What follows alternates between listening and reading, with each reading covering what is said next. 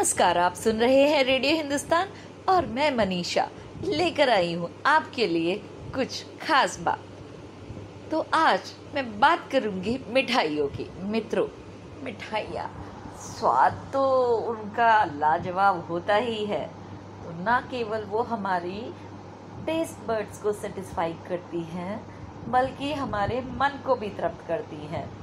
और साथ ही साथ जो हमारे अनगिनत मिष्ठान है, वो हमें जीवन के कुछ गहरे संदेश भी देकर जाते हैं।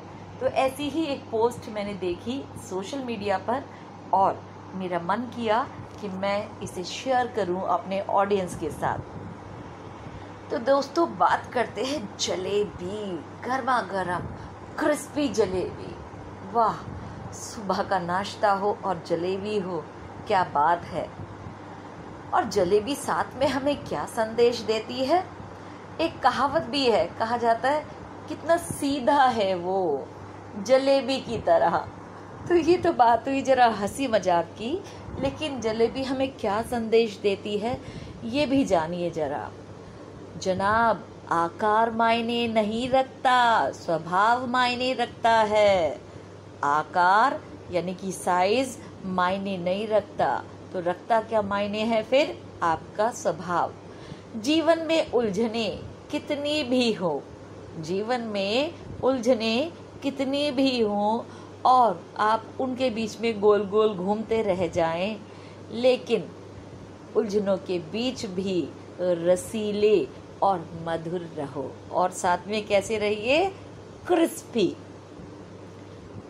दूसरा माय फेवरेट रोशगुल्ला। वाओ, सफ़ेद रसगुल्ला, क्या बात है उसकी। कोई फ़र्क नहीं पड़ता तो क्या संदेश देता है हमें रसगुल्ला? कोई फ़र्क नहीं पड़ता कि जीवन आपको कितना निचोड़ता है, अपना असली रूप सदा बनाए रखे। तो दोस्तों, है ना, क्या खास बात, रसगुल्ले का रसगुल्ला, और साथ में एक बहुत सुंदर टिप भी मिल गया हमें जीवन जीने का, यानी कि आम के आम और गुटलियों के दाम। तो नेक्स्ट टाइम जब भी आप रसगुल्ला खाएँ तो मेरी बात पर भी जरा गौर फरमाइएगा। अब आती है लड्डू की बारी। जब भी कोई खुशी का मौका हो तो बांटते हैं हम लड्डू। अब लड्डू हमें क्या संदेश दे रहा है? बूंदी बूंदी से लड्डू बनता है।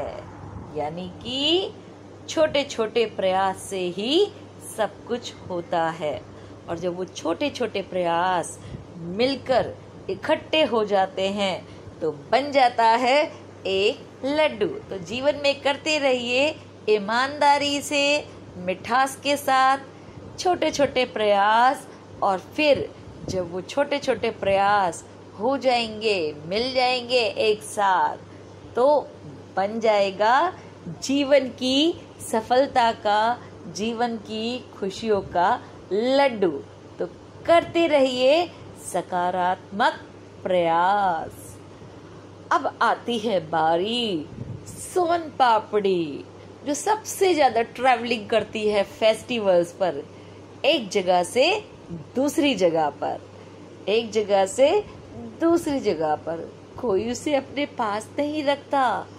हालाँकि कुछ सोन पापड़ी लवर्स भी होते हैं और जिनकी फ़र्स्ट चॉइस होती है सोन पापड़ी माई सोनी।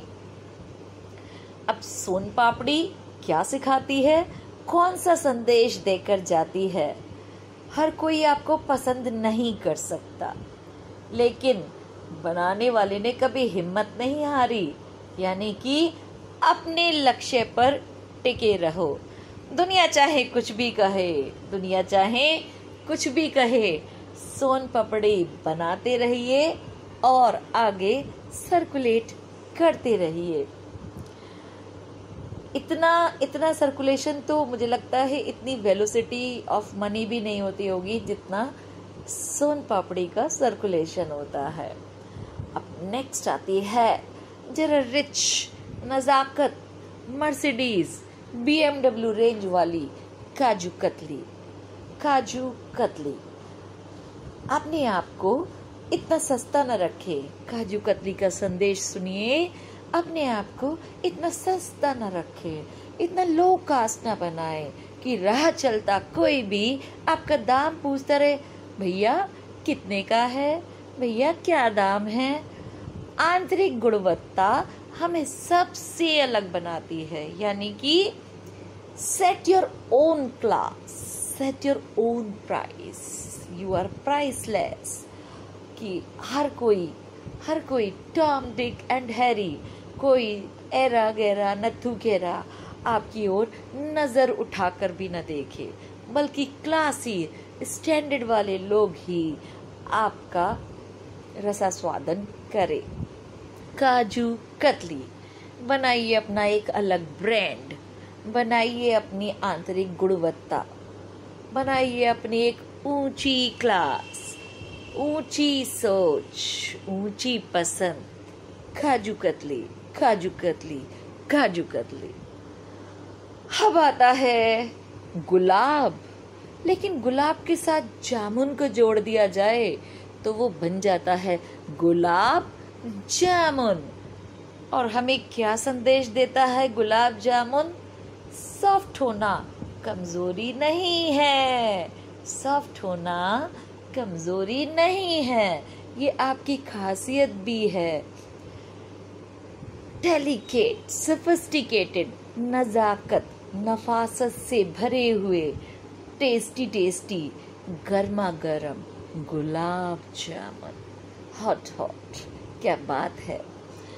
साथ ही गुलाब जामुन हमें ये भी बताते हैं, नम्रता नम्रता यानी कि ह्यूमिलिटी ये भी एक विशेष गुण होता है। तो जो जितना पोलाइट होता है, वो उतना स्वीट होता है। और स्वीटनेस की बात ही अजब और गजब होती है। अब अब आते हैं बेसन के लड्डू। बेसन के लड्डू, जिनका भोग लगाया जाता है, हनुमान जी को, जिनका भोग लगता है बृहस्पतिवार के दिन, विष्णु जी को भी, बृहस्पति देव जी को भी। तो बेसन के लड्डू हमें क्या संदेश देते हैं? यदि दबाव में बिखर भी जाए तो फिर से बंद कर लड्डू हुआ जा सकता है। यानी कि जीवन की बाधाएँ, परेशानियाँ यदि आपको बिखेर दें तो भी हिम्मत ना हारे। फिर से बंधिए, फिर से अपने बिखरे हुए मनोबल को ऊँचा करिए और फिर से बंधिए और साथ में मिलकर रहिए। समय के साथ कभी कभी ऊंच नीच हो जाती है और जैसे कि कहा जाता है कि जहाँ चार बर्तन होते हैं, वो खटकते तो हैं ही, लेकिन उन खटकने के साथ ही आप उसे ऑर्केस्ट्रा की बीट बना दीजिए और जिस पर पूरी फैमिली एक साथ एक साथ मिलकर डांस करिए तो क्या हो जाएगा? Unity is strength enjoy your life team spirit should be there गाय भगाए कभी लड़ भी लिए, चार बर्तन खटक भी लिए तो भी तो क्या करे? अरे, उस बीट पर थोड़ा सा रिदम में थिरक भी लीजिए। अब इसी के साथ एक्सप्लोर करके लाऊँगी मैं मनीषा। और भी नई नई ज्ञान की बातें फन के साथ। तो तब तक सुनते रहिए और रेडियो हिंदुस्तान आशा करती हूँ इन्हीं मिष्ठानों की तरह से आपके जीवन में भी आए मिठास। मंगलमय हो गान। जीवन में चारों ओर हो प्रसन्नता का वास। तो सुनते रहिए रेडियो हिंदुस्तान, खाते रहिए मिठाइयाँ, सुनते रहिए मनीषा को नए नए आइडियाज़ के साथ। तब तक खाइए मिष्ठान और याद रखिए, मेरे इन अजब गजब टिप्स को आएँगे बड़े काम।